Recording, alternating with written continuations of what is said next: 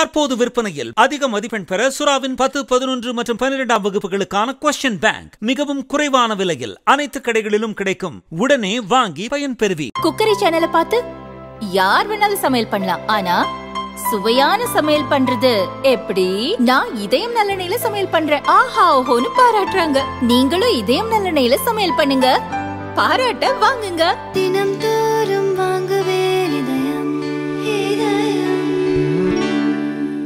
திருச்சி மாவட்டம் திருச்செந்துறை கிராமம் முள்ளிக்கிளப்பூரைச் சேர்ந்தவர் ராஜகோபால். இரண்டாயிரத்து இருபத்தி இரண்டில் இவர் தனக்கு சொந்தமான ஒன்று புள்ளி இரண்டு ஏக்கர் நிலத்தை விற்க சார்பதிவாளர் அலுவலகத்தை அணுகினார். அந்த கிராமத்தில் உள்ள அனைத்து நிலங்களும் வக்ஃபு வாரியத்துக்கு சொந்தமானவை என பதிவுத்துறை தலைவரிடமிருந்து அறிவிப்பு வந்ததாக சார்பதிவாளர் அலுவலகத்தில் தெரிவிக்கப்பட்டது. நிலத்தை விற்க தடையின்மை சான்று பெற வேண்டும் என தமிழக வக்ஃபு வாரியம் உத்தரவு அடிப்படையில் பதிவுத்துறை தலைவர் இந்த அறிக்கையை பிறப்பித்தது தெரிய வந்தது. இதேபோல பல கிராமங்களிலும் சர்ச்சை ஏற்பட்டு மக்கள் மத்தியில் கொந்தளிப்பு உருவானது. திருச்செந்துறை கிராமத்தில் ஆயிரத்து ஐநூறு ஆண்டு பழமையான சிவன் கோவில் அமைந்துள்ள நிலமும் வக்ஃபு வாரிய பட்டியலில் இருப்பதாக கூறியதால் பிரச்சனை பெரிதானது.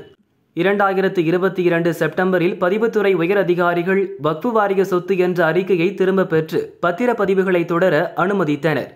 வக்ஃபு வாரியத்துக்கு சொந்தமானது என ஒரு சொத்து குறித்து கடிதம் அளிப்பதற்கு சட்ட ரீதியாக முறையான வரையறைகள் இல்லை. வக்ஃபு வாரியத்திலிருந்து வரும் கடிதங்கள் அடிப்படையில் பத்திரப்பதிவை நிறுத்தக்கூடாது என சார்பதிவாளர்கள் அறிவுறுத்தப்பட்டனர்.